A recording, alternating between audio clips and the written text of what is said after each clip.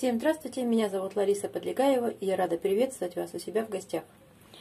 Я говорила, что я приспособлюсь каким-то образом снимать на балконе со штатива, и я это сделала. Но у нас, к счастью, пришло наконец-то тепло, пришло лето, и, к небольшому сожалению, теперь мои съемки будут сопровождаться э, звуками с улицы. Это будет и лай собак, и рев машин. Но это жизнь, и никуда от этого не денешься. Итак, сегодня одиннадцатый день моего вязального марафона. И он не очень продуктивный в плане результата, но он продуктивный в плане того, что в моей голове роится куча идей. И когда идей слишком много, они перебивают одна другую, поэтому продуктивность при этом падает. Но это все нужно переварить, переосмыслить, и потом работа пойдет в своем русле. Итак, я сегодня буквально только пару рядочков провязала вот этой сумки. И, наверное, мне придется ее распустить, потому что она стала вот здесь сужаться. То есть я перетянула слишком. Я когда вяжу, подтягиваю ниточку. И, видимо, я ее перетянула. И вот такое вот сужение мне не очень нравится, поэтому вечером попрошу мужа, чтобы он помог мне распустить, потому что три нитки и тяжело распускать в одни руки. Ну а так, конечно, мне вообще очень нравится. И я в предвкушении, какая это красота будет. Так, вы видите, что у меня тут много ниток, много крючков, и надо, чтобы ничего не перепутать. Вяжу я его крючком 2,5, эту сумочку. Дальше, мозаичное вязание. А, сегодня я приступила к обучению. Вот такой вот маленький квадратик связала. Вязала я по видео мастер-классу. Есть у меня и книга, сейчас я вам скажу. Это книга Юлии Гендиной, и по ее же мастер-классу на ютубе я и вязала. Но в мастер-классе там провязано всего 8 рядов, и очень мелкая схема. Я даже не нашла момента, чтобы можно было э, сделать стоп-кадр, заскринить и вязать дальше. К сожалению, вот по рисунку там вроде бы логично все, и можно дальше вязать по рисунку, но я еще пока что не сообразила, как это делать. Но, в принципе, процесс интересный, но очень такой требует большой сосредоточенности. А, что по поводу этого хочу сказать, что вот очень красиво смотрится в кадре. А, хочу сказать, что пока что я отложу. Наверное, это дело. Вот здесь вот вы видите схему. Не знаю, забанят, не забанят меня на ютубе за вот, э, что книга раскрытая лежит.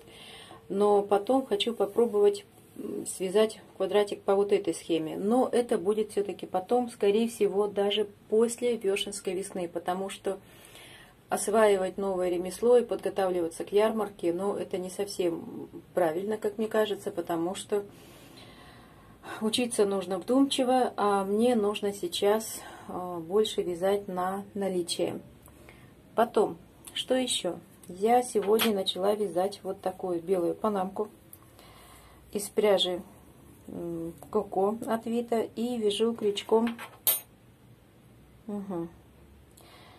Так, вот каким крючком я вязала, я не помню, но не точно не 2,75. Ну ладно, придется подбирать, конечно потому что я металась тут сейчас процессами и потеряла крючок. Вот такая панамка. Мне нравится рисуночек такой по спиральке. Я думаю, что белых панамок я буду вязать несколько. И возможно, что и одним узором, и чтобы были разные размеры. Так, почему я ее не довязала сегодня? Потому что мы с мужем вчерашний стенд торговый, мы его переделывали, потому что нам нужно его было распилить пополам, чтобы он помещался в матис. И когда я буду ездить по ярмаркам, чтобы я могла все это дело собрать воедино. Я вам покажу, когда завтра будет работа завершена, а, я вам соберу его и сниму, покажу, как это будет выглядеть. Потом ко мне приехала моя коллега по клубу Таня Ускова, которая занимается лоскутным шитьем. Она привезла детские платья. Я отдала ей желтую кокетку, которую я вам показывала, кажется, вчера. Вот, и мы с ней пока общались, естественно, э, нам пришли в голову еще идеи, как нам совместить свое творчество, шитье и вязание. И вот это вот одна из задумок. Вот один шнурочек я связала, начала вязать другой. И обо всем об этом, если из этого что-то получится, конечно, я вам покажу все в своих последующих выпусках. На этом я хочу с вами попрощаться. И сейчас я вставлю вам кусочек э, видео. Я сняла эти платья. Они просто вообще потрясающие. Настолько э, результат превзошел все мои ожидания. Я вообще в восторге от этих платьев. Они очень красивые. Вот такая красота. Это Татьяна привезла сегодня два платья. Сейчас я постараюсь показать поближе. Красный цвет очень плохо передается. Вот бантик не видно ни на фото, ни на видео. Вот здесь вот такой красивый бантик кокетливый. Сзади, сейчас вам покажу. Сзади вот такой вот пояс, который можно будет уже завязать, ну, смотря какая будет талия у девчушки. Очень красивое платье, мне очень оно нравится. Ох, извиняюсь. Нет возможности мне показать как-то по-другому, поэтому пока что вот так.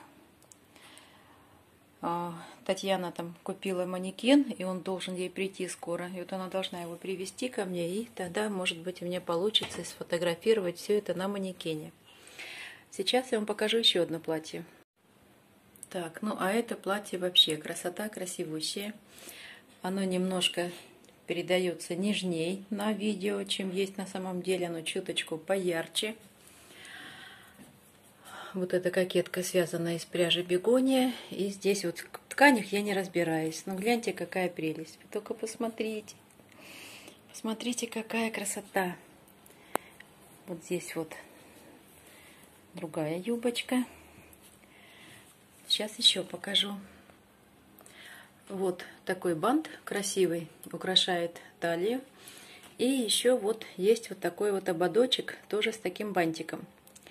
И вот эти бантики делала третья мастер из нашего клуба Арт Актив. На нее тоже оставлю ссылочку в описании под видео. Зовут ее Наташа. Так что вот такая вот прелесть.